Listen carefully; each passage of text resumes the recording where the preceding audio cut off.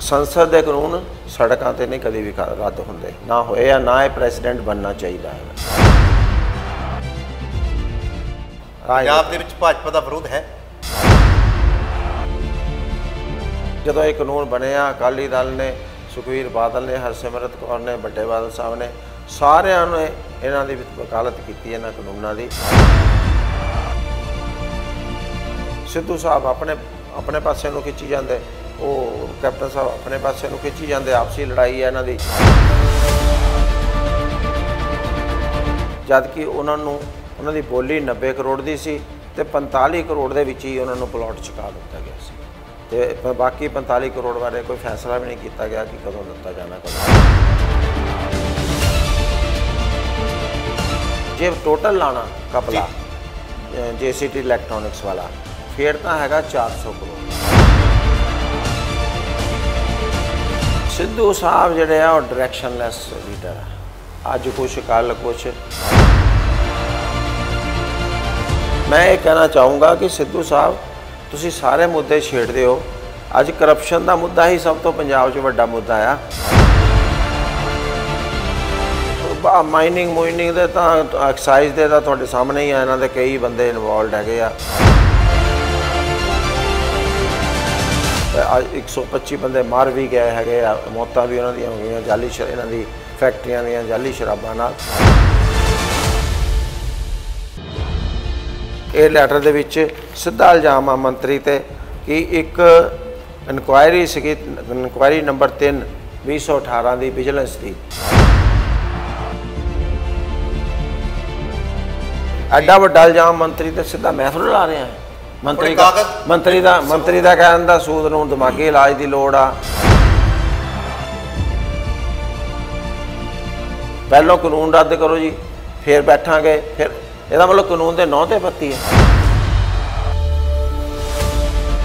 ਲਾਗੂ ਕਰਦੀ ਤਾਂ ਸ਼ਾਇਦ ਕਿਸਾਨਾਂ ਦੇ ਬਾਰੇ ਨਿਆਰੇ ਹੋ ਜਾਂਦੇ। ਉਹ ਤਾਂ ਲਾਗੂ ਹੋਣੇ ਨਹੀਂ ਦਿੱਤੇ। ਉਹ ਬੰਦਿਆਂ ਨੇ ਨਹੀਂ ਹੋਣ ਦਿੱਤੇ ਜਿਹੜੇ ਚਾਹੁੰਦੇ ਆ ਕਿ ਜੇ ਕਾਨੂੰਨ ਲੱਗ ਕਿਸਾਨਾਂ ਦੀ ਬੱਲੇ ਬੱਲੇ ਹੋ ਜਾਣੀ ਆ ਬਾਰੇ ਨਿਆਰੇ ਹੋ ਜਾਣੇ। ਸਕਾਈ ਨਿਊਜ਼ ਪੰਜਾਬ ਦੇਖ ਰਹੇ ਦਰਸ਼ਕਾਂ ਨੂੰ ਸਤਿ ਸ੍ਰੀ ਅਕਾਲ। ਮੈਂ ਹਾਂ ਤੁਹਾਡੇ ਨਾਲ ਆਰ ਐਸ ਲਿਬਰੇਟ ਚੋਣਾਂ ਦਾ ਮਾਹੌਲ ਸਮੇਂ ਤੋਂ ਪਹਿਲਾਂ ਬਣ ਗਿਆ, ਹੁਣ ਗਰਮਾ ਗਿਆ। ਕਿਸਾਨ ਅੰਦੋਲਨ ਦਾ ਦੀ ਵਜ੍ਹਾ ਹੋ ਸਕਦੀ ਹੈ। ਸਿਆਸੀ ਧਿਰਾਂ ਨੂੰ ਲੱਗਦਾ ਹੈ ਕਿ ਕਿਸਾਨ ਅੰਦੋਲਨ ਸਾਡੇ ਮੁੱਦਿਆਂ ਨੂੰ, ਸਾਡੇ ਵਿਰੋਧੀ ਧਿਰ ਦੇ ਦੋਸ਼ਾਂ ਨੂੰ ਜਾਂ ਉਹਨਾਂ ਦੀਆਂ ਜਿਹੜੀਆਂ ਉਣਤਾਈਆਂ ਨੂੰ ਕਿਤੇ ਨਾ ਕਿਤੇ ਲੁਕੋ ਨਾ ਲਵੇ, ਉਹ ਐਡਵਾਂਸ ਸ਼ੁਰੂ ਹੋ ਗਈਆਂ ਨੇ। ਸਟੇਜਾਂ ਤੋਂ ਆਉਣ ਤੋਂ ਪਹਿਲਾਂ ਕਾਗਜ਼ਾਂ ਤੇ ਵੀ ਪਹੁੰਚ ਗਈਆਂ ਨੇ। ਸਕੈਮ ਸਾਹਮਣੇ ਆ ਰਹੇ ਨੇ। ਸੱਤਾ ਧਿਰ ਦੇ ਇੱਕ ਮਿਨਿਸਟਰ ਤੇ ਹੁਸ਼ਿਆਰਪੁਰ ਤੋਂ ਸਾਬਕਾ cabinet minister Shri Tikshan Sood ji industry minister ਸੱਤਾ ਧਿਰ ਦੇ ਸ਼ਾਮ ਸੁੰਦਰ ਅਰੋੜਾ ਤੇ ਲਗਾਤਾਰ ਉਹਨਾਂ ਦੇ ਖਿਲਾਫ ਆਰੋਪ ਇਸ ਤਰ੍ਹਾਂ ਨਹੀਂ ਲਾ ਰਹੇ, ਦੋਸ਼ ਇਸ ਤਰ੍ਹਾਂ ਨਹੀਂ ਲਾ ਰਹੇ ਕਿ ਸਿਰਫ ਸਟੇਜੀ ਦੋਸ਼। ਉਹਨਾਂ ਕੋਲੇ ਬਕਾਇਦਾ ਦਸਤਾਵੇਜ਼ ਨੇ।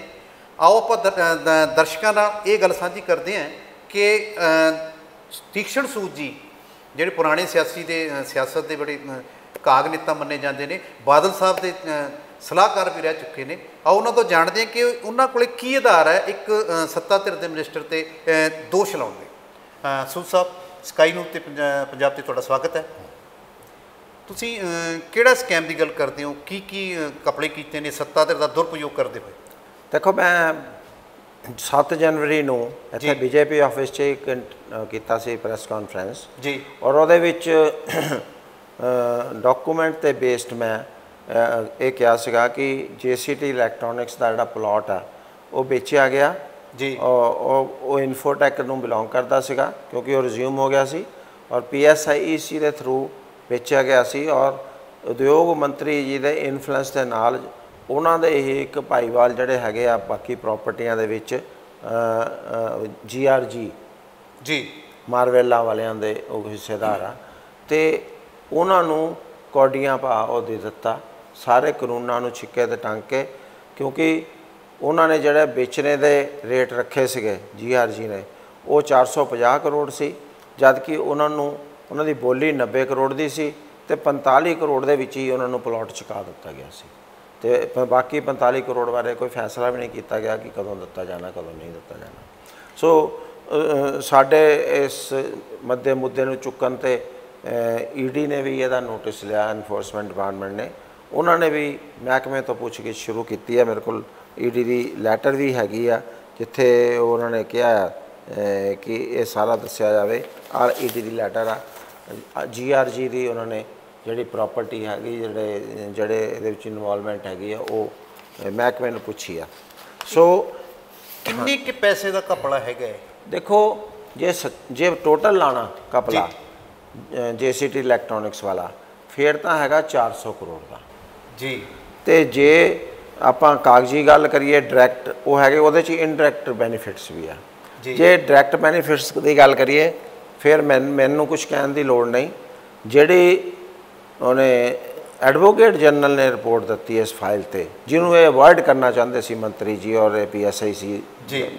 ਬਾਰ-ਬਾਰ ਉਹਨਾਂ ਨੇ ਲਿਖਿਆ ਉਹਨੇ ਇੱਕ ਮੈਂਬਰਾਂ ਨੇ ਗੱਲ ਚੁੱਕੀ ਪਏ ਇਹਦੇ ਚ ਏਜੀ ਦੀ ਰਿਪੋਰਟ ਲਵੋ। ਏਜੀ ਦੀ ਬਜਾਏ ਪ੍ਰਾਈਵੇਟ ਵਕੀਲ ਦੀ ਰਿਪੋਰਟ ਲੈ ਕੇ ਓਕੇ ਕਰ ਦਿੱਤਾ। ਜਿਸਲੇ ਮਾਮਲਾ ਚੁੱਕਿਆ ਗਿਆ ਸੀਐਮ ਸਾਹਿਬ ਨੇ ਏਜੀ ਨੂੰ ਲਿਖਿਆ ਤੁਸੀਂ ਰਿਪੋਰਟ ਦਿਓ। ਏਜੀ ਨੇ ਕਿਹਾ ਡਾਇਰੈਕਟ ਲਾਸਿਸ ਆਫ 125 ਕਰੋੜਸ ਸਫਰਡ ਦੇ ਵਿੱਚ। ਹਾਂਜੀ ਉਹ ਜਿਹੜੇ ਅਨਅਰਨਡ ਪ੍ਰੋਫਿਟ ਜਿਹੜੇ ਇਨਫੋਟੈਕ ਮੰਗਦਾ ਸੀਗਾ। ਚਲੋ ਤੇ ਫਾਈਨਾਂਸ ਡਿਪਾਰਟਮੈਂਟ ਨੇ ਆਰਡਰ ਕੀਤਾ ਕਿ ਇਹ ਸੇਲ ਨੂੰ ਫਟਾਫਟ ਕੈਨਸਲ ਕੀਤਾ ਜਾਵੇ ਪਰ ਅੱਜ ਤੱਕ ਨਹੀਂ ਹੋਈ। ਮੰਤਰੀ ਜੀ ਹਾਲੇ ਵੀ ਪ੍ਰੋਟੈਕਟ ਕਰਦੇ ਕਿਉਂਕਿ ਉਹ ਉਹਨਾਂ ਦੇ ਉਹ ਖਾਸ ਬੰਦੇ ਹੈ ਚਲੋ ਤੁਸੀਂ ਹੁਣ ਆਪਾਂ ਗੱਲ ਕਰਦੇ ਹਾਂ ਕਿ ਕਾਂਗਰਸ ਦੀ ਪ੍ਰਧਾਨਗੀ ਬਦਲ ਗਈ ਹੈ। ਸੱਤਾ ਧਿਰ ਦੇ ਵਿੱਚ ਅੰਦਰ ਵੀ ਖਿੱਚੋਤਾਣ ਚੱਲ ਰਿਹਾ ਖਿੱਚੋਤਾਣ ਇਹ ਚੱਲ ਰਿਹਾ ਕਿ ਕਿ ਜਿਹੜੇ ਕਪੜਿਆਂ ਦੀ ਤੁਸੀਂ ਗੱਲ ਕਰਦੇ ਹੋ ਜਾਂ ਜਿਹੜੇ ਤੁਸੀਂ ਦੋਸ਼ ਲਾਉਂਦੇ ਹੋ ਉਹ ਤਾਂ ਕਪਲਾ ਪੁਰਾਣਾ ਮੈਂ ਤਾਂ ਨਵੇਂ ਕਪਲੇ ਲੈ ਕੇ ਬੈਠਾ ਹਲੇ। ਹਾਂਜੀ। ਠੀਕ ਹੈ ਤੁਸੀਂ ਨਵੇਂ ਕਪੜਿਆਂ ਦੀ ਗੱਲ ਕਰ ਲਿਓ। ਤੇ ਉਹਦੇ 'ਚ ਇਹ ਹੈ ਕਿ ਵੀ ਸਿੱਧੂ ਸਾਹਿਬ ਮਨਜੋਤ ਨਵਜੋਤ ਸਿੰਘ ਸਿੱਧੂ ਦਾ ਕਹਿਣਾ ਹੈ ਕਿ ਮੈਨੂੰ ਸਿਸਟਮ ਨੇ ਖਰਾਬ ਕੀਤਾ ਸੀ ਤਾਂ ਛੱਡਦਾ ਸੀ ਹੁਣ ਮੈਂ ਸਿਸਟਮ ਨੂੰ ਠੀਕ ਕਰਨਾ। ਕੀ ਤੁਹਾਨੂੰ ਲੱਗਦਾ ਕਿ ਕੈਪਟਨ ਕੈਪਟਨ ਸਰਕਾਰ ਤੇ ਸਿੱਧੂ ਮਿਲ ਕੇ ਇਹਨਾਂ ਤੇ ਕੋਈ ਬਣਦੀ ਕਾਰਵਾਈ ਕਰਵਾਉਣਗੇ? ਸਿੱਧੂ ਸਾਹਿਬ ਜਿਹੜੇ ਆ ਉਹ ਡਾਇਰੈਕਸ਼ਨਲੈਸ ਲੀਡਰ ਆ। ਅੱਜ ਕੁਛ ਕੱਲ ਕੁਛ। ਦੇਖੋ ਇਹ ਤਾਂ ਜਾਣੀ ਕਿ ਸੁਖਵੀਰ ਬਾਦਲ ਵਾਲੀ ਗੱਲ ਕਰ ਲੀਡਰ ਨਹੀਂ ਮੈਂ ਆਪਣੀ ਗੱਲ ਕਰਦਾ ਮੈਂ ਪਰਸਨਲ ਐਕਸਪੀਰੀਅੰਸ ਮੈਨੂੰ ਸਿੱਧੂ ਸਾਹਿਬ ਵੀ ਸਾਡੀ ਪਾਰਟੀ 'ਚ ਰਹੇ ਹੈਗੇ ਆ। ਮੈਂ ਉਹਨਾਂ ਨੂੰ ਬਹੁਤ ਨਜ਼ਦੀਕ ਤੋਂ ਜਾਣਦਾ ਬੜੇ ਅੱਛੇ ਬੁਲਾਰੇ ਵੀ ਆ ਉਹ। ਅੱਛੇ ਬੰਦੇ ਆ ਐਸੀ ਗੱਲ ਨਹੀਂ। ਪਰ ਉਹ ਕੁਝ ਦੇਰ ਤੋਂ ਬਿਲਕੁਲ ਡਾਇਰੈਕਸ਼ਨਲੈਸ ਹੋ ਚੁੱਕੇ ਹੈਗੇ ਆ। ਕਿਉਂਕਿ ਇੱਕ ਜਗ੍ਹਾ ਬੰਦਾ ਖੜਾ ਰਵੇ ਨਾ ਤਾਂ ਸੋਚ ਕੰਸਿਸਟੈਂਟ ਰਹਿੰਦੀ ਆ। ਜੀ। ਤੇ ਉਹੀ ਉਹੀ ਗੱਲਾਂ ਜੇ ਅੱਜ ਬੀਜੇਪੀ ਦੇ ਲੀਡਰਾਂ ਦੀ ਤਾਰੀਫ ਚ ਕਹੀਆਂ ਕੱਲ ਨੂੰ ਕਾਂਗਰਸ ਦੀ ਤਾਰੀਫ ਚ ਕਹਿਤੀਆਂ ਆ ਫਿਰ ਕੈਪਟਨ ਦੇ ਉਲਟ ਹੋ ਗਏ ਹੁਣ ਹੁਣ ਪ੍ਰਧਾਨ ਬਣ ਗਏ। ਉਹਨਾਂ ਦੇ ਜਿਹੜਾ ਸਟੈਂਡ ਉਹ ਬਦਲਦਾ ਰਹਿੰਦਾ। ਉਹ ਇਸ ਕਰਕੇ ਮੈਂ ਕਿਹਾ ਉਹ ਡਾਇਰੈਕਸ਼ਨਲੈਸ ਹੋ ਗਿਆ। ਉਹ ਸਿਰਫ ਮੁੱਦੇ ਉਠਾਉਣ ਜੋਗੇ ਹੀ ਆ। ਮੁੱਦਿਆਂ ਨੂੰ ਸੁਲਝਾਉਣਾ ਜ਼ਰੂਰੀ ਆ। ਪ੍ਰਧਾਨ ਜੇ ਕੋਈ ਬੰਦਾ ਬਣ ਜਾਂਦਾ ਇਹਦਾ ਮਤਲਬ ਨਹੀਂ ਉਹ ਮੁੱਦੇ ਉਠਾਵੇ। ਉਹ ਚੀਜ਼ਾਂ ਨੂੰ ਸੌਰਟ ਆਊਟ ਕਰਾਵੇ। ਔਰ ਉਹ ਆਪਣੇ, ਆਪਣਾ ਉਹਨਾਂ ਦਾ ਸਾਰਾ ਏਜੰਡਾ ਬਣ ਗਿਆ ਹੈਗਾ। ਉਹ ਕੈਪਟਨ ਸਾਹਿਬ ਨੂੰ ਡਿਸਲੌਜ ਕਰਨਾ ਚਾਹੁੰਦੇ ਹੈਗੇ ਆ। ਇਹ ਬਿਲਕੁਲ ਕਲੀਅਰ ਗੱਲ ਹੈਗੀ ਆ। ਪਰ ਮੈਂ ਇਹ ਕਹਿਣਾ ਚਾਹੂੰਗਾ ਕਿ ਸਿੱਧੂ ਸਾਹਿਬ, ਤੁਸੀਂ ਸਾਰੇ ਮੁੱਦੇ ਛੇੜਦੇ ਹੋ। ਅੱਜ ਕਰਪਸ਼ਨ ਦਾ ਮੁੱਦਾ ਹੀ ਸਭ ਤੋਂ ਪੰਜਾਬ 'ਚ ਵੱਡਾ ਮੁੱਦਾ ਆ। ਹੋਰ ਕੋਈ ਮੁੱਦੇ ਨਹੀਂ ਆ, ਬਾਕੀ ਸਾਰੇ ਪੁਰਾਣੇ ਮੁੱਦੇ ਆ। ਉਹ ਉਹ ਮੁੱਦਿਆਂ ਨਾਲ ਇੱਕ ਇਲੈਕਸ਼ਨ ਲੜਿਆ ਜਾ ਚੁੱਕਾ। ਕਰਪਸ਼ਨ ਬਾਰੇ ਕੈਪਟਨ ਸਾਹਿਬ ਨੇ ਕਿਹਾ ਸੀ ਇਹਨਾਂ ਦੇ ਮੈਨੀਫੈਸਟੋ 'ਚ ਕਿਹਾ ਸੀ ਇਹ ਜ਼ੀਰੋ ਟੋਲਰੈਂਸ ਹੋਊਗੀ ਸਾਡੀ। ਔਰ ਜ਼ੀਰੋ ਟੋਲਰੈਂਸ ਤੁਹਾਡੇ ਸਾਹਮਣੇ ਆ ਦੇਖੋ ਤਾਂ ਕਾਗਜ਼ਾਂ ਦੇ ਢੇਰ ਲੱਗੇ ਪਏ ਕਰਪਸ਼ਨ ਦੇ ਜਿਹੜੇ ਸਬੂਤ ਪਏ ਹੈਗੇ ਆ ਇੱਕੋ ਮਹਿਕਮੇ ਦੇ। ਇਹਦੇ ਇਲਾਵਾ ਧਰਮਸੋਤ ਵਾਲਾ ਮਹਿਕਮਾ ਜਿਹੜਾ ਹੈਗਾ ਆ ਉਹ ਉੱਥੇ ਕਿੱਡਾ ਵੱਡਾ ਸਕਾਲਰਸ਼ਿਪ ਦਾ ਘੁਟਾਲਾ। ਉਹਦੇ ਬਾਅਦ ਆ ਇੱਕ ਬਲਵੀਰ ਸਿੱਧੂ ਦੀ ਦਾ ਘੁਟਾਲਾ ਉੱਠਿਆ ਜਿਹੜੀ ਗਊਸ਼ਾਲਾ ਦੇ ਨਾਂ ਤੇ ਜ਼ਮੀਨ ਜਿਹੜੀ ਆ ਬਲੌਂਗੀ ਦੀ ਜ਼ਮੀਨ ਦਾ ਉਹ ਬਿਲੋਂਗੀ ਦੀ ਜ਼ਮੀਨ ਦਾ ਗਊਸ਼ਾਲਾ ਦੇ ਨਾਂ ਤੇ ਗਰਾਂਟਾਂ ਤੇ ਜ਼ਮੀਨ ਹੜਪਣੇ ਦਾ ਹੈਗਾ। ਫਿਰ ਆ ਰਾਣਾ ਸੋਢੀ ਹੈਗਾ ਇਹਦੇ ਤੇ ਹੈਗਾ ਦੋ ਦੋ ਵਾਰੀ ਮੁਆਵਜ਼ਾ ਲੈ ਲਿਆ। ਹੈਗਾ। ਮਾਈਨਿੰਗ ਮੂਈਨਿੰਗ ਦੇ ਤਾਂ ਐਕਸਾਈਜ਼ ਦੇ ਤਾਂ ਤੁਹਾਡੇ ਸਾਹਮਣੇ ਹੀ ਆ ਇਹਨਾਂ ਦੇ ਕਈ ਬੰਦੇ ਇਨਵੋਲਡ ਹੈਗੇ ਆ। ਅੱਜ 125 ਬੰਦੇ ਮਰ ਵੀ ਗਏ ਹੈਗੇ ਆ ਮੌਤਾਂ ਵੀ ਉਹਨਾਂ ਦੀਆਂ ਹੋ ਗਈਆਂ ਜਾਲੀ ਇਹਨਾਂ ਦੀ ਫੈਕਟਰੀਆਂ ਦੀਆਂ ਜਾਲੀ ਸ਼ਰਾਬਾਂ ਨਾਲ। ਸੋ ਇਹ ਇਹ ਤਾਂ ਸਾਰਾ ਨਿਜ਼ਾਮ ਹੀ ਮਾੜਾ। ਟੋਟਲ ਨਿਜ਼ਾਮ ਹੀ ਮਾੜਾ ਹੈਗਾ। ਗੌਣ ਨੇ ਤੁਹਾਡੀ ਭਾਸ਼ਾ ਦੇ ਵਿੱਚ ਜਿਹੜਾ ਸਭ ਤੋਂ ਵੱਡਾ ਮੁੱਦਾ ਭ੍ਰਿਸ਼ਟਾਚਾਰ। ਬਿਲਕੁਲ। ਪਰ ਇੱਕ ਸਵਾਲ ਤੁਹਾਡੇ ਤੇ ਵੀ ਉੱਠਦਾ ਹੈ ਵੀ ਸਰਕਾਰ ਬਣੀ ਨੂੰ 5 ਸਾਲ ਹੋਣ ਵਾਲੇ ਨੇ 5-6 ਮਹੀਨੇ ਰਹਿ ਗਏ ਨੇ ਇਲੈਕਸ਼ਨ ਜਿਹੜੇ ਨੇ ਇਹ ਮੁੱਦੇ ਤੁਸੀਂ ਪਹਿਲਾਂ ਕਿਉਂ ਨਹੀਂ ਚੱਕੇ? ਮੈਂ ਜਨਵਰੀ ਚ ਸਾਰਾ ਮੁੱਦਾ ਪਹਿਲਾਂ ਜੀਸੀਟੀ ਦਾ ਚੱਕਿਆ ਜਿਸਲੇ ਮੁੱਦੇ ਨਿਕਲਨੇ ਬਾਹਰ ਹਲੇ ਆ ਆ ਕਦੋਂ ਹੋਇਆ?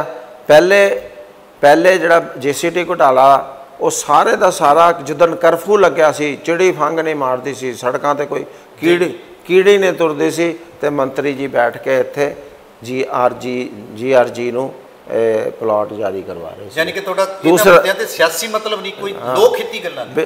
ਪਹਿਲਾ ਪਹਿਲਾ ਜਿਹੜਾ ਵੇਵ ਸੀ ਕਰੋਨਾ ਦੀ ਉਹਦਾ ਫਾਇਦਾ। ਦੂਜੀ ਵੇਵ ਦੇ ਵਿੱਚ ਆਨੰਦ ਲੈਂਪ ਦਾ ਜਿਹੜਾ ਘੁਟਾਲਾ ਹੋਇਆ ਇਹ ਮਾਰਚ ਮਹੀਨੇ ਦੇ ਵਿੱਚ ਬੈਠ ਕੇ ਇੱਥੇ ਲਗਾਤਾਰ 3 3 ਮਾਰਚ ਤੋਂ ਲੈ ਕੇ ਇਹਨਾਂ ਨੇ ਅੱਜ ਕੱਲ ਨਵਾਂ ਨਵਾਂ ਨਵਾਂ ਅੱਗੇ ਪ੍ਰੋਗਰੈਸ ਕਰਕੇ ਆਰਡਰ ਪਾਸ ਕਰਕੇ ਤਾਂ 18 ਮਾਰਚ ਨੂੰ ਸਾਰੇ 125 ਪਲਾਟ ਕੱਟ ਕੁੱਟ ਕੇ ਇਹਨਾਂ ਨੂੰ ਦੇ ਦਿੱਤੇ ਵੇਚ ਲਓ ਔਰ ਉਹ ਪਲਾਟ ਵੀ ਕਬੂਲ ਚਲੋ ਵੀ ਗਏ। ਭ੍ਰਿਸ਼ਟਾਚਾਰ ਦਾ ਮੁੱਦਾ ਤੁਸੀਂ ਕਹਿੰਦੇ ਭ੍ਰਿਸ਼ਟਾਚਾਰ। ਇੰਨਾ ਭ੍ਰਿਸ਼ਟਾਚਾਰ ਆ ਜਿਹਦਾ ਕੋਈ ਹਿਸਾਬ ਹੀ ਨਹੀਂ ਆ। ਔਰ ਇਹ ਮੰਤਰੀਆਂ ਨੂੰ ਉਤਾਰ ਕੇ ਗੱਦੀ ਤੋਂ ਇਨਕੁਆਇਰੀਆਂ ਜਿੱਲੇ ਹੋਣ ਸੀਬੀਆਈ ਕਰੇ ਇੰਡੀਪੈਂਡੈਂਟ ਏਜੰਸੀਆਂ ਕਰਨ ਤਾਂ ਤੁਸੀਂ ਦੇਖੋ ਇਹ ਤਾਂ ਮੈਂ ਤਾਂ ਇੱਕ ਮੁੱਦਾ 500 ਕਰੋੜ ਦੇ ਘੁਟਾਲੇ ਦਾ ਕੱਢਿਆ ਜਿਹੜਾ ਆਨੰਦ ਲੈਂਪ ਵਾਲਾ। ਦੂਸਰਾ ਮੁੱਦਾ ਮੈਂ ਕੱਢ- ਕੱਢਿਆ ਹੈਗਾ ਤਿੰਨ 400 ਕਰੋੜ ਰੁਪਏ ਦੇ ਘੁਟਾਲੇ ਦਾ। ਫਿਰ ਆ ਦੋ ਪਲਾਟ ਜਿਹੜੇ ਮੰਤਰੀ ਨੂੰ ਗਿਫਟ ਕੀਤੇ ਹੈਗੇ ਆ ਉਹਦਾ ਉਹਦੇ ਇਲਜ਼ਾਮ ਹੈਗੇ ਆ ਦੇਖੋ ਮੇਰੇ ਕੋਲ ਉਹਦੇ ਕਾਗਜ਼ ਹੈਗੇ ਆ। ਅਸ਼ਵਨੀ ਕੁਮਾਰ ਜਿਹੜੇ ਇਹਨਾਂ ਦੇ ਡਾਇਰੈਕਟਰ ਸੀਗੇ ਹਾਂ ਅਸ਼ਵਨੀ ਕੁਮਾਰ ਆ ਲੈਟਰ ਆ ਮੇਰੇ ਦੇਖੋ। ਜੀ। ਆ ਲੈਟਰ ਆ ਹਾਂਜੀ ਇਹ ਲੈਟਰ ਡੀਲ ਹੋ ਰਿਹਾ ਆ। ਇਹ ਲੈਟਰ ਦੇ ਵਿੱਚ ਸਿੱਧਾ ਇਲਜ਼ਾਮ ਆ ਮੰਤਰੀ ਤੇ ਕਿ ਇੱਕ ਇਨਕੁਆਇਰੀ ਸੀਗੀ ਇਨਕੁਆਇਰੀ ਨੰਬਰ 3 2018 ਦੀ ਵਿਜੀਲੈਂਸ ਦੀ। ਉਹਦੇ ਚ ਜਿਹੜੇ ਮੁਲਾਜ਼ਮ ਫਸੇ ਹੋਏ ਸੀ ਮੁਲਾਜ਼ਮ ਉਹ ਕੀ ਕਰਦੇ ਸੀਗੇ? ਇੱਕ ਫਰਜ਼ੀ ਬੰਦਾ ਖੜਾ ਕਰਕੇ ਔਰ ਕੈਸ਼ ਦੇ ਡਰਾਫਟ ਬਣਾ ਕੇ ਛੋਟੇ ਪਲਾਟ ਉਹਦੇ ਨਾਂ ਅਲਾਟ ਕਰਾ ਦਿੰਦੇ ਸੀ। ਮੁੜ ਕੇ ਉਹ ਪਲਾਟ ਕਿਸੇ ਨੂੰ ਵੀ ਤੈਨੂੰ ਮੈਨੂੰ ਵੇਚਦੇ ਮਹਿੰਗੇ ਭਾਅ ਪ੍ਰੀਮੀਅਮ ਤੇ ਤੇ ਮਹਿੰਗਾ ਭਾਅ ਕੀ? ਉਹਨਾਂ ਨੇ ਤਾਂ ਕੋਈ ਖਰਚਿਆ ਹੀ ਨਹੀਂ ਹੁੰਦਾ। ਤੇ ਉਹਨਾਂ ਪਲਾਟਾਂ ਚੋਂ ਜਿਹੜੇ ਹੇਰਾਫੇਰੀ ਦੇ ਪਲਾਟ ਚੱਲਦੇ ਸੀ, ਉਹਨਾਂ ਚੋਂ ਪਲਾਟ ਨੰਬਰ F461 F462 ਉਹਨਾਂ ਨੇ ਮੰਤਰੀ ਨੂੰ ਗਿਫਟ ਕੀਤੇ ਵੀ ਸਾਡੀ ਇਨਕੁਆਇਰੀ ਖੁਰਦ-ਬੁਰਦ ਕਰ ਦਿਓ। ਚਲੋ ਇੱਕ ਆਪਣੇ ਔਰ- ਤੁਸੀਂ ਉਜਾਗਰ ਕਰ ਰਹੇ ਹੋ ਔਰ ਉਹ ਇਨਕੁਆਇਰੀ ਖੁਰਦ-ਬੁਰਦ ਹੋ ਗਈ। ਐਡਾ ਵੱਡਾ ਇਲਜ਼ਾਮ ਮੰਤਰੀ ਤੇ ਸਿੱਧਾ ਮੈਂ ਥੋੜਾ ਲਾ ਰਿਹਾ ਹਾਂ। ਮੰਤਰੀ ਦਾ ਮੰਤਰੀ ਦਾ ਮੰਤਰੀ ਦਾ ਕਹਿਣ ਦਾ ਸੂਦ ਨੂੰ ਦਿਮਾਗੀ ਇਲਾਜ ਦੀ ਲੋੜ ਆ। ਹਾਂਜੀ ਕਿ ਜਿਹੜਾ ਚੱਕਦਾ ਉਹਨੂੰ ਕਹਿੰਦਾ ਜੀ ਇਹ ਤਾਂ ਐਵੇਂ ਬੋਲੀ ਜਾਂਦਾ ਆ। ਵੀਰ ਦਵਿੰਦਰ ਤਾਂ ਇਦਾਂ ਪਾਗਲ ਆ। ਹਾਂਜੀ ਸਾਰਿਆਂ ਨੂੰ ਇਹ ਕਹੀ ਜਾਂਦਾ। ਇਹ ਤਾਂ ਸਾਰੀਆਂ ਪਾਰਟੀਆਂ ਨੇ ਇਹ ਕਰਪਸ਼ਨ ਦੇ ਇਲਜ਼ਾਮ ਚਲੋ ਆਪਾਂ ਇੱਕ ਗੱਲ ਕਰਦੇ ਤਾਂ ਕੱਪੜਿਆਂ ਦੀ ਗੱਲ ਹੋ ਗਈ। ਤੁਸੀਂ ਕਹਿੰਦੇ ਆ ਵੀ ਸਭ ਤੋਂ ਵੱਡਾ ਮੁੱਦਾ ਭ੍ਰਿਸ਼ਟਾਚਾਰ ਹੈ ਇਹ ਸੱਤਾਧਿਰ ਪਾਰਟੀ ਹਾਂਜੀ। ਅਸੀਂ ਚੁੱਕਦੇ ਆ ਅਸੀਂ ਚੁੱਕਿਆ ਆ ਚਲੋ ਸਿੱਧੂ ਸਾਹਿਬ ਨੂੰ ਤੁਸੀਂ ਕਹਿੰਦੇ ਡਾਇਰੈਕਸ਼ਨਲੈਸ ਹੈ। ਹਾਂਜੀ ਡਾਇਰੈਕਸ਼ਨ ਤੇ ਭਾਜਪਾ ਦੀ ਨਹੀਂ ਤੁਸੀਂ ਨਹੀਂ ਮੰਨਦੇ। ਕੀ? ਤੁਸੀਂ ਨਹੀਂ ਮੰਨਦੇ ਡਾਇਰੈਕਸ਼ਨ ਲੈਸ ਆ। ਉਹਨਾਂ ਦੀ ਕੋਈ ਲਾਈਨ ਹੈਗੀ ਆ। ਚਲੋ ਤੁਸੀਂ ਕਹਿਤਾ ਅਸੀਂ ਮੰਨ ਗਏ ਤੁਹਾਡੇ ਹਿਸਾਬ ਨਾਲ ਤੁਸੀਂ ਕਹਿਤਾ। ਤੇ ਹੁਣ ਇਹ ਦੱਸੋ ਵੀ ਭਾਜਪਾ ਦੀ ਕੋਈ ਕਿਸਾਨ ਅੰਦੋਲਨ ਤੇ ਡਾਇਰੈਕਸ਼ਨ ਹੈ? ਹਾਂਜੀ। ਕਿਸਾਨ ਭਾਜਪਾ ਬਿਲਕੁਲ ਕਲੀਅਰ ਆਪਣੀ ਲਾਈਨ ਤੇ। ਭਾਜਪਾ ਜੀ ਇਸ ਗੱਲ ਤੇ ਵੀ ਕਾਨੂੰਨ ਰੱਦ ਨਹੀਂ ਕਰਨੀ? ਭਾਜ ਨਹੀਂ ਭਾਜਪਾ ਕਹਿੰਦੀ ਮੈਂ ਮੈਂ ਮੈਂ ਇੱਕ ਕੁਐਸਚਨ ਕਰਦਾ। ਤੁਸੀਂ ਦੇਖੋ ਸਾਰੇ ਸਮਝਦਾਰ ਆ। ਕਿਸਾਨ ਸੋ ਕਾਲਡ ਜਿਹੜੇ ਕਿਸਾਨ ਨੇਤਾ ਉਹਨਾਂ ਨੂੰ ਕਾਨੂੰਨਾਂ ਦੇ ਨਾਂ ਤੇ ਆਪੱਤੀ ਆ ਜਾਂ ਕਾਨੂੰਨਾਂ ਦੇ ਵਿੱਚ ਲਿਖੇ ਤੇ ਆਪੱਤੀ ਆ? ਜੀ। ਜੇ ਨਾਂ ਤੇ ਪੱਤੀ ਆ ਤਾਂ ਫਿਰ ਕਾਨੂੰਨ ਮੰਨ ਲੈ ਜੇ ਕਾਨੂੰਨਾਂ ਤੇ ਪੱਤੀ ਆ ਤਾਂ ਉਹਦੇ ਲਈ ਬਾਰ-ਬਾਰ ਕਹਿੰਦੀ ਆ ਸਰਕਾਰ ਵੀ ਤੁਸੀਂ ਆਓ ਬੈਠੋ ਬੈਠ ਮਿਲ ਕੇ ਇਹਨੂੰ ਖਤਮ ਕਰੀਏ। ਪਹਿਲਾਂ ਕਾਨੂੰਨ ਰੱਦ ਕਰੋ ਜੀ ਫਿਰ ਬੈਠਾਂਗੇ ਫਿਰ ਇਹਦਾ ਮਤਲਬ ਕਾਨੂੰਨ ਦੇ ਨਾਂ ਤੇ ਪੱਤੀ ਆ। ਨਹੀਂ ਹੁਣ ਇਹ ਮੰਨੀਏ ਕਿ ਜਿੱਦ ਸਰਕਾਰ ਦੀ ਹੈ ਕਿ ਜਿੱਦ ਸਰਕਾਰ ਦੀ ਤਾਂ ਜਿੱਦ ਹੈ ਹੀ ਨਹੀਂ। ਕਾਨੂੰਨ ਤਾਂ ਸਸਪੈਂਡਡ ਆ ਪਹਿਲਾਂ ਹੀ। ਕਿ ਸੁਪਰੀਮ ਸੁਪਰੀਮ ਕੋਰਟ। ਮਾਮਲਾ ਸੁਪਰੀਮ ਕੋਰਟ 'ਚ ਮਾਮਲਾ ਗਿਆ ਸਰਕਾਰ ਨੇ ਹੋਲਡ ਕਰ ਲਏ। ਸਰਕਾਰ ਤਾਂ ਉਹਨਾਂ ਨੂੰ ਲਾਗੂ ਹੀ ਨਹੀਂ ਕਰ ਰਹੀ। ਲਾਗੂ ਕਰਦੀ ਤਾਂ ਸ਼ਾਇਦ ਕਿਸਾਨਾਂ ਦੇ ਬਾਰੇ ਨਿਆਰੇ ਹੋ ਜਾਂਦੇ। ਉਹ ਤਾਂ ਲਾਗੂ ਹੋਣੇ ਨਹੀਂ ਦਿੱਤੇ। ਉਹ ਬੰਦਿਆਂ ਨੇ ਨਹੀਂ ਹੋਣ ਦਿੱਤੇ ਜਿਹੜੇ ਚਾਹੁੰਦੇ ਆ ਕਿ ਜੇ ਕਾਨੂੰਨ ਲੱਗ ਗਏ ਕਿਸਾਨਾਂ ਦੀ ਬੱਲੇ ਬੱਲੇ ਹੋ ਜਾਣੀ ਆ ਬਾਰੇ ਨਿਆਰੇ ਹੋ ਜਾਣੇ ਤੇ ਮੋਦੀ ਚੜ੍ਹਦੀ ਚੜ੍ਹਤ ਹੋ ਜਾਣੀ ਆ। ਅਸਲੀ ਗੱਲ ਤਾਂ ਇਹ ਦੇਖੋ ਸੰਸਦ ਪੈਰਲਰ ਚੱਲੀ। ਹਾਂਜੀ। ਤਿੰਨ ਦਿਨ ਪਹਿਲਾਂ ਅਜੈਂਡ ਕਰਤੀ। ਠੀਕ ਹੈ ਜੀ, ਇਹ ਸੱਤਾ ਤੇ ਨੂੰ ਸੋਚਣ ਦੀ ਲੋੜ ਨਹੀਂ, ਕੇਂਦਰ ਸਰਕਾਰ ਦੇਖੋ, ਇਹ ਡੈਮੋਕ੍ਰੈਟਿਕ ਸਿਸਟਮ ਆ, ਇੱਥੇ ਚੁਣ ਕੇ ਨੁਮਾਇੰਦੇ ਭੇਜੇ ਜਾਂਦੇ ਆ, ਸਦਨ ਦੇ ਵਿੱਚ ਉੱਥੇ ਸਾਰੀ ਡਿਸਕਸ਼ਨ ਹੁੰਦੀ ਆ, ਉੱਥੇ ਕਾਨੂੰਨ ਪਾਸ ਹੁੰਦੇ ਆ। ਜੇ ਲੋਕਾਂ ਨੂੰ ਦੁੱਖ ਦਿੰਦੇ ਆ ਕਾਨੂੰਨ, ਵੋਟਾਂ ਆਂਦੀਆਂ 25 ਸਾਲੀ, ਲੋਕੀ ਉਹਨਾਂ ਉਹਨਾਂ ਉਹਨਾਂ ਨੂੰ ਨਾ ਚੁਣਨ ਦੁਆਰਾ, ਆਪਣੇ ਨਵੇਂ ਬੰਦੇ ਚੁਣ ਲੈਣ ਇਸ਼ੂ ਬਣਾਉਣ ਪਿਆ, ਜਿਹੜਾ ਸਾਨੂੰ ਆ ਇਸ਼ੂ ਬਣਾ ਕੇ ਦਊਗਾ, ਅਸੀਂ ਉਹਨਾਂ ਨੂੰ ਚੁਣੂਗੇ। ਇਹ ਸੰਸਦ ਦੇ ਕਾਨੂੰਨ ਸੜਕਾਂ ਤੇ ਨਹੀਂ ਕਦੇ ਵੀ ਕ- ਰੱਦ ਹੁੰਦੇ। ਨਾ ਹੋਏ ਆ ਨਾ ਇਹ ਪ੍ਰੈਜ਼ੀਡੈਂਟ ਬਣਨਾ ਚਾਹੀਦਾ ਹੈਗਾ। ਚਲੋ ਤੁਹਾਡਾ ਸਾਹਿਬ ਨਾਲ ਵੀ ਇਹ ਸੜਕਾਂ ਤੇ ਨਹੀਂ ਹੁੰਦੇ ਤੇ ਜਦੋਂ ਅੰਦੋਲਨ ਤੇ ਬੈਠੇ ਨੇ, ਲੋਕਤੰਤਰਿਕ ਤਰੀਕਾ ਕੋਈ ਵਰਤਿਆ ਹੀ ਜਾ। ਸਕਦਾ। ਲੋਕਤੰਤਰ ਤੇ ਤੁਸੀਂ ਪ੍ਰੋਟੈਸਟ ਕਰੋ ਜੋ ਜੋ ਕਾਨੂੰਨ ਆ ਜਿੱਥੇ ਜਿੱਥੇ ਬਹਿਣਾ ਉਹਦੇ 200 ਮੀਟਰ 500 ਮੀਟਰ ਬੈਠੋ ਜੋ ਕਾਨੂੰਨ ਕਹਿੰਦਾ ਆ। ਕਿਸੇ ਨੂੰ ਕਿਸੇ ਦਾ ਪ੍ਰੋਗਰਾਮ ਡਿਸਟਰਬ ਕਰਨਾ ਘੇਰਾਬੰਦੀ ਕਰਨਾ ਕਿਸੇ ਦੀ ਜ਼ਮੀਨ ਜਾ ਕੇ ਬਾਇਆ ਇਹ ਬਿਲਕੁਲ ਲੋਕਤੰਤਰ ਦੀ ਜਿਹੜੀ ਹੈਗੀ ਆ ਉਹ ਉਲਟ ਹੈਗਾ ਲੋਕਤੰਤਰ ਦਾ। ਚਲੋ ਤੁਸੀਂ ਕਹਿੰਦੇ ਚੋਣਾਂ ਆ ਗਈਆਂ ਲੋਕ ਨੂੰ ਨਾ ਚੁਣਨ। ਹਾਂ ਤੁਸੀਂ ਬਿਲਕੁਲ। ਕੀ ਸਮਝਦੇ ਹੋ ਕਿ ਪਹਿਲੀ ਵਾਰੀ ਭਾਜਪਾ ਪਾਰਟੀ ਪੰਜਾਬ ਵਿਧਾਨ ਸਭਾ ਚੋਣਾਂ ਦੇ ਵਿੱਚ ਇਕੱਲੀ ਚੋਣਾਂ ਲੜੇਗੀ ਅਕਾਲੀ ਦਲ ਤੋਂ ਬਗੈਰ? ਤੇ ਕੀ ਸੰਭਾਵਨਾ ਹੈ ਬਿਲਕੁਲ ਅਸੀਂ ਇਕੱਲੇ ਲੜਨ ਜਾ ਰਹੇ ਹਾਂ। ਕੋਈ ਸੰਭਾਵਨਾ ਹੈ? ਬੜੀਆਂ ਚੰਗੀਆਂ ਸਾਡੀਆਂ। ਕੀ ਮੁੱਦੇ ਹੋਣਗੇ? ਸਾਰੀ ਸਰਕਾਰ ਦੀ ਫੇਲਰ ਆ। ਮੁੱਦੇ ਤਾਂ ਬਣੇ ਬਣਾਏ ਅਸੀਂ ਆਪੋਜੀਸ਼ਨ ਹੈਗੇ ਆ। ਸਾਡੇ ਕੋਲ ਸਾਰੇ ਮੁੱਦੇ। ਸਰਕਾਰ ਹਰ ਫਰੰਟ ਤੇ ਫੇਲ ਹੋ ਚੁੱਕੀ ਹੈਗੀ ਆ ਜਿਹੜੇ ਇਹਨਾਂ ਨੇ ਵਾਅਦੇ ਕੀਤੇ ਸੀ ਉਹ ਕੋਈ ਵੀ ਪੂਰੇ ਨਹੀਂ ਹੋਏ। ਅਖੀਰੀ ਸਾਲ ਆ ਗਿਆ ਕੋਈ ਮਾੜਾ ਮੋਟਾ ਮੂੰਹ ਮਾ ਚੋਪੜਨੇ ਦੀ ਗੱਲ ਇਹਨਾਂ ਨੇ ਕਰ ਦਿੱਤੀ ਆ ਤੇ ਸਿੱਧੂ ਸਾਹਿਬ ਆਪਣੇ ਆਪਣੇ ਪਾਸੇ ਨੂੰ ਖਿੱਚੀ ਜਾਂਦੇ। ਉਹ ਕੈਪਟਨ ਸਾਹਿਬ ਆਪਣੇ ਪਾਸੇ ਨੂੰ ਖਿੱਚੀ ਜਾਂਦੇ ਆਪਸੀ ਲੜਾਈ ਹੈ ਇਹਨਾਂ ਦੀ ਉਹਦੇ ਨਾਲ ਲੋਕਾਂ ਦਾ ਨੁਕਸਾਨ ਹੋ ਰਿਹਾ। ਅੱਜ ਮੁਲਾਜ਼ਮ ਮੁਲਾਜ਼ਮ ਸੜਕਾਂ ਸੜਕਾਂ ਜੋਸ਼ੀ ਬੈਠੇ। ਹਾਂਜੀ। ਉਹ ਬਹੁਤ ਨਾਰਾਜ਼ ਨੇ। ਭਾਜਪਾ ਦੀਆਂ ਨੀਤੀਆਂ ਤੋਂ ਕਹਿੰਦੇ ਵੀ ਪੰਜਾਬ ਦੀ ਭਾਜਪਾ ਨੇ ਕੇਂਦਰ ਦੇ ਜਿਹੜੇ ਕਾਨੂੰਨ ਨੇ ਉਹ ਕਿਸਾਨਾਂ ਨੂੰ ਸਮਝਾਉਣ ਚ ਅਸਮਰੱਥ ਰਹੀ ਹੈ ਸਮਝਾ ਨਹੀਂ ਪਾਈ। ਇਹ ਉਹਨਾਂ ਦੀ ਸੋਚ ਹੋਏਗੀ ਸਾਡੀ ਸੋਚ ਨਹੀਂ ਹੈਗੀ ਉਹਨਾਂ ਦੀ ਕੈਬਨਿਟ ਮਿਨਿਸਟਰ ਦੇ ਰੈਂਕ 'ਚ ਰਹੇ ਨੇ ਉਹ ਰਹੇ ਹੋਣਗੇ ਤਾਂ ਕਿ ਸਮਝਦੇ ਹੋਣਗੇ। ਰਹੇ ਹੋਣਗੇ ਉਹਨਾਂ ਨੂੰ ਕੋਈ ਹੋਰ ਲਾਲਚ ਹੋਊਗਾ ਪਰ ਭਾਜਪਾ ਦਾ ਸਟੈਂਡ ਬਿਲਕੁਲ ਕਲੀਅਰ ਰਿਹਾ ਔਰ ਉਹਨਾਂ ਨੂੰ ਹੀ ਨਿਊ ਐਵਰੀਥਿੰਗ। ਇਹ ਉਹ ਕਹਿੰਦੇ ਜੀ ਉੱਪਰ ਗੱਲ ਨਹੀਂ ਤੁਸੀਂ ਪ੍ਰੋਪਰ ਕਰ ਸਕੇ। ਹਰ ਗੱਲ ਉਹਨਾਂ ਨੂੰ ਪਤਾ ਹੈਗੀ ਆ ਗੱਲਾਂ ਜੋ ਹੋਈਆਂ ਉੱਪਰ ਸਾਰੀਆਂ ਗੱਲਾਂ ਹੋਈਆਂ ਔਰ ਉਹਨਾਂ ਦੀਆਂ ਮੀਟਿੰਗਸ ਅਰੇਂਜ ਕਰਾਈਆਂ ਪੰਜਾਬ ਭਾਜਪਾ ਨੇ ਆਪਣੀ ਗੱਲ ਦੱਸ ਕੇ ਕਰਾਈਆਂ। ਨਾਲੇ ਪੰਜਾਬ ਦਾ ਇਕੱਲੇ ਦਾ ਇਸ਼ੂ ਹੀ ਨਹੀਂ ਆ ਕਿਸਾਨ ਮੁੱਦਾ ਇਹ ਸਾਰੇ ਦੇਸ਼ ਦਾ ਮੁੱਦਾ। ਇਹਦੇ ਵਿੱਚ ਇਕੱਲੇ ਪੰਜਾਬ ਲੀਡਰਸ਼ਿਪ ਨੂੰ ਜਿਹੜਾ ਉਹ ਕਹਿ ਦੇਣਾ ਜੀ ਇਹ ਬਿਲਕੁਲ ਝੂਠ ਹੈ ਗਲਤ ਆ। ਉਹਨਾਂ ਦੇ ਆਪਣੇ ਕੋਈ ਇੰਟਰਸਟ ਹੋਣਗੇ ਜਿਹੜੇ ਉਹਨਾਂ ਨੇ ਉਹਨਾਂ ਨੇ ਸਟੈਂਡ ਆਪਣਾ ਬਦਲਿਆ ਹੈ। ਤੁਸੀਂ ਦੇਸ਼ ਦੇ ਮੁੱਦੇ ਦੀ ਗੱਲ ਕਰਦੇ ਹੋ ਕਿਸਾਨ ਦਾ ਮੁੱਦਾ ਦੇਸ਼ ਦਾ ਮੁੱਦਾ ਹੈ। ਯੂਪੀ ਦੇ ਵਿੱਚ ਵੀ ਵਿਰੋਧ ਸ਼ੁਰੂ ਹੋ ਗਿਆ ਉੱਤਰਾਖੰਡ ਦੇ ਵਿੱਚ ਵੀ ਹੋ ਗਿਆ ਬੰਗਾਲ ਦੇ ਵਿੱਚ ਤਾਂ ਰਿਜ਼ਲਟ ਤੁਸੀਂ ਦੇਖ ਰਹੇ ਹੋ। ਤੇ ਪੰਜਾਬ ਦੇ ਵਿੱਚ ਕੀ ਦੇਖ ਦੇਖੋ ਕਿਸਾਨ ਮੇਰਾ ਖਿਆਲ ਜੇ ਗਿਣਤੀ ਕਰੀਏ 80 ਕਰੋੜ ਤੋਂ ਜ਼ਿਆਦਾ ਹੋਣੇ ਆ। ਤੇ ਮੈਂ ਵੀ ਕਿਸਾਨ ਆ ਮੈਂ ਖੇਤੀ ਕਰਦਾ ਮੈਂ ਹੱਥੀਂ ਵੀ ਖੇਤੀ ਕੀਤੀ ਆ। ਮੈਂ ਫੋਰੈਸਟਰੀ ਆਪਣੇ ਬੂਟੇ ਲਾ ਕੇ ਵੀ ਕੀਤੀ ਆ ਠੇਕੇ ਦੇ ਕੇ ਵੀ ਕੀਤੀ ਆ। ਸਭ ਕੁਝ ਕੀਤੀ ਆ। ਮੈਂ ਵਕੀਲ ਵੀ ਆ। ਮੈਂ ਪੂਰਾ ਸੈਟੀਸਫਾਈਡ ਆ ਕਾਨੂੰਨ ਜਿਹੜੇ ਕਿਸਾਨ ਦੇ ਹਿੱਤ ਦੇ ਆ। ਐਸਐਸ ਜੋਲ ਜਿਹਨੂੰ ਸਰਦਾਰਾ ਸਿੰਘ ਜੋ ਹਾਂ ਕ੍ਰਿਸ਼ੀ ਵਿਗਿਆਨੀ ਵੀ ਕਹਿੰਦੇ ਆ। ਔਰ ਜਿਹੜਾ ਕਿ ਮਾਂ ਹੈ ਖੇਤੀਬਾੜੀ ਦੀ ਜਿਨ੍ਹਾਂ ਨੇ ਹਮੇਸ਼ਾ ਮੁੱਦੇ ਚੁੱਕੇ ਇਸ ਇਹ ਕਾਨੂੰਨ ਸਾਰੇ ਉਹ ਚੀਜ਼ਾਂ ਦੇ ਰਹੇ ਆ ਜਿਹੜੇ 65 ਸਾਲ ਦੇ ਵਿੱਚ ਨਿਚੋੜ ਕੱਢ ਕੇ ਸਭ ਨੇ ਕਹੇ ਆ। ਉਹ ਕਾਂਗਰਸ ਦੀ ਸਰਕਾਰ ਵੇਲੇ ਕਾਂਗਰਸ ਨੇ ਵੀ ਇਹਨਾਂ ਚੀਜ਼ਾਂ ਨੂੰ ਪਲੀਟ ਕੀਤਾ ਕਿ ਬੰਨਣਾ ਚਾਹੀਦਾ, ਪਰ ਉਹ ਕਰ ਨਹੀਂ ਸਕੇ। ਜਦੋਂ ਇਹ ਕਾਨੂੰਨ ਬਣਿਆ ਅਕਾਲੀ ਦਲ ਨੇ, ਸੁਖਵੀਰ ਬਾਦਲ ਨੇ, ਹਰਸਿਮਰਤ ਕੌਰ ਨੇ, ਵੱਡੇ ਬਾਦਲ ਸਾਹਿਬ ਨੇ, ਸਾਰਿਆਂ ਨੇ ਇਹਨਾਂ ਦੀ ਵਕਾਲਤ ਕੀਤੀ ਇਹਨਾਂ ਕਾਨੂੰਨਾਂ ਦੀ।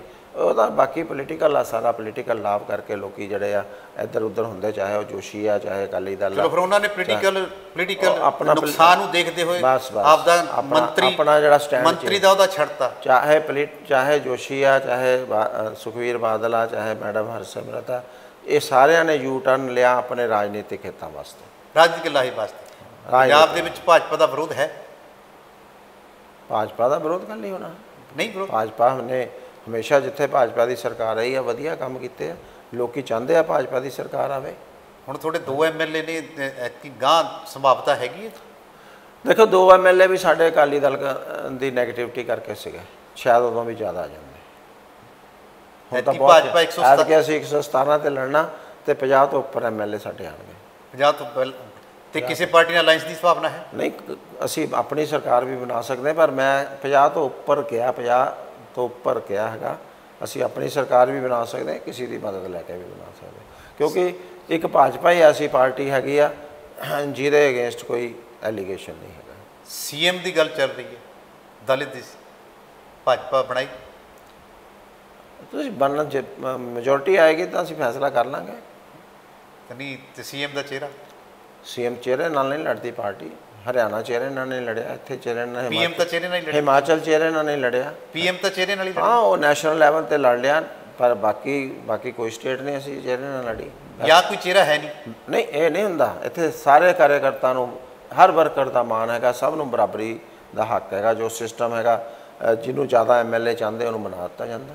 ਚਲੋ ਇੱਕ ਲਾਸਟ ਕੁਐਸਚਨ ਦਲਿਤ ਸੀਐਮ ਦੀ ਗੱਲ ਚੱਲ ਰਹੀ ਹੈ ਡਿਪਟੀ ਸੀਐਮ ਕੋਈ ਪਾਰਟੀ ਕਹਿ ਰਹੀ ਹੈ ਫਿਰ ਡਿਪਟੀ ਸ- ਦੋ ਕਹਿ ਰਹੀ ਹੈ ਤੇ ਕਿ ਦਲਿਤ ਪੋਲਿਟਿਕਸ ਨੂੰ ਤੁਸੀਂ ਕਿਵੇਂ ਦੇਖਦੇ ਦੇਖੋ ਜਾਤ ਪਾਤ ਦੀ ਪੋਲਿਟਿਕਸ ਨਹੀਂ ਹੋਣੀ ਚਾਹੀਦੀ।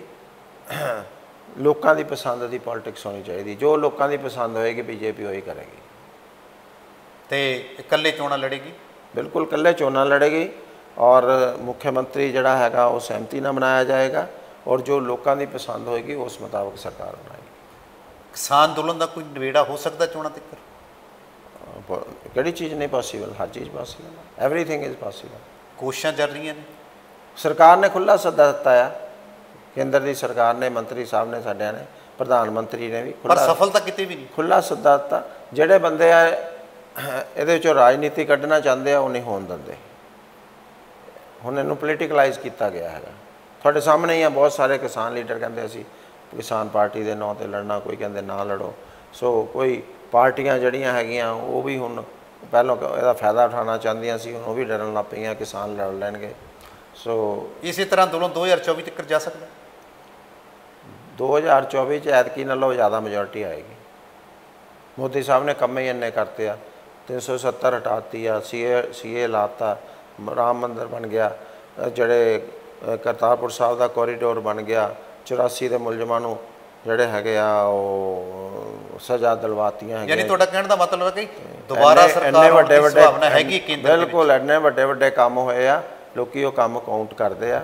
ਪਿਛਲੀ ਵਾਰੀ ਨਾਲੋਂ ਐਤਕੀ ਵੱਧ ਮੈਜੋਰਟੀ ਆਈ ਅਗਲੀ ਵਾਰੀ 24 ਦੇ ਵਿੱਚ ਹੁਣ ਨਾਲੋਂ ਵੱਧ ਮੈਜੋਰਟੀ ਮਿਲੂਗੀ ਸਾਨੂੰ। ਯਾਨੀ ਤੁਹਾਡਾ ਕਹਿਣ ਦਾ ਮਤਲਬ ਹੈ ਕੇਂਦਰ ਕੇਂਦਰ ਸਰਕਾਰ ਦੁਬਾਰਾ ਰਿਪੀਟ ਕਰੇਗੀ ਬਿਲਕੁਲ। ਪੰਜਾਬ ਦੇ ਵਿੱਚ ਤੁਸੀਂ ਕੇਂਦਰ ਦੇ- ਵਿਰੋਧ ਹੈ ਤੇ ਤੁਸੀਂ ਕਹਿੰਦੇ 50 ਤੋਂ ਜ਼ਿਆਦਾ ਸੀਟਾਂ ਆਉਣਗੀਆਂ ਕੇਂਦਰ ਦੇ ਵਿੱਚ 1% ਚਾਂਸ ਨਹੀਂ ਪੱਕੀ ਗੱਲ ਆ 100% ਦੀ ਚਾਂਸ ਆ ਕਿ ਅੱਜ ਨਾਲੋਂ ਵੱਧ ਸੀਟਾਂ ਆਣਗੀਆਂ ਔਰ ਪੰਜਾਬ ਦੇ ਵਿੱਚ ਵੀ ਇੱਕ ਭਾਜਪਾ ਐਸੀ ਪਾਰਟੀ ਆ, ਜਿਹਦੇ ਤੇ ਕੋਈ ਐਲੀਗੇਸ਼ਨ ਨਹੀਂ ਹੈਗਾ।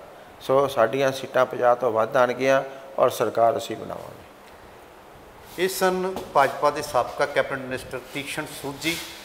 ਉਹਨਾਂ ਨੂੰ ਸਿਆਸਤ ਦਾ ਕਾਫੀ ਤਜਰਬਾ ਹੈ, ਕਿਉਂਕਿ ਪੰਜਾਬ ਦੇ ਘਾਗ ਸਿਆਸਤਦਾਨ ਪ੍ਰਕਾਸ਼ ਸਿੰਘ ਬਾਦਲ ਦੇ ਸਿਆਸੀ ਸਲਾਹਕਾਰ ਰਹਿ ਚੁੱਕੇ ਨੇ। ਉਹਨਾਂ ਦਾ ਦਾਅਵਾ ਹੈ ਕਿ ਭਾਜਪਾ ਕੇਂਦਰ ਦੇ ਵਿੱਚ ਦੁਬਾਰਾ ਸਰਕਾਰ ਬਣਾਏਗੀ ਤੇ ਪੰਜਾਬ ਦੇ ਵਿੱਚ 50 ਤੋਂ ਵੱਧ ਸੀਟਾਂ ਲੈ ਕੇ ਨਿਤਰੇਗੀ ਹਾਲਾਂਕਿ ਹੁਣ ਇਹਨਾਂ ਦੇ ਦੋ ਐਮਐਲਏ ਨੇ। ਇੰਨਾ ਵਿਰੋਧ ਹੈ ਕਿਸਾਨ ਅੰਦੋਲਨ ਕਰਕੇ ਹੈ ਪਰ ਫਿਰ ਵੀ ਇਹ ਕਿਹੜੇ ਨੁਕਤੇ ਨਾਲ ਆਉਣਗੇ ਕਿਹੜੇ ਮੁੱਦਿਆਂ ਨਾਲ ਆਉਣਗੇ ਪਰ ਇਹਨਾਂ ਦਾ ਕਹਿਣਾ ਕਿ ਭ੍ਰਸ਼ਟਾਚਾਰ ਸੱਤਾ ਧਿਰ ਦਾ ਸਭ ਤੋਂ ਜਿਹੜਾ ਅ, ਫਰੋਲਣ ਵਾਲਾ ਵਰਕ ਹੈ ਜੋ ਫਰੋਲਿਆ ਜਾ ਰਿਹਾ ਪਰ ਇਹ ਇੱਕ ਇੱਕ ਸਵਾਲ ਇਹਨਾਂ ਤੇ ਵੀ ਹੈ ਕਿ ਇਹਨਾਂ ਨੇ 4.5 ਸਾਲ ਹੋ ਗਏ ਹੁਣ ਫਰੋਲਣਾ ਸ਼ੁਰੂ ਕੀਤਾ। ਪਹਿਲਾਂ ਵੀ ਕੀਤਾ ਹੋਣਾ ਹੁਣ ਜ਼ਿਆਦਾ ਸਕੈਮ ਜ਼ਿਆਦਾ ਆ ਗਏ ਨਹੀਂ ਪਰ ਇੱਕ ਇਹਨਾਂ 'ਚ ਫ਼ਰਕ ਹੈ ਇਹ ਸਟੇਜ ਤੇ ਨਹੀਂ ਕਾਗਜ਼ਾਂ ਨਾਲ ਲੋਕਾਂ ਦੇ ਸਾਹਮਣੇ ਮੁੱਦੇ ਲੈ ਕੇ ਆ ਰਹੇ ਨੇ। ਵੱਡੇ ਵੱਡੇ ਦੋਸ਼ ਲਗਾਏ ਨੇ।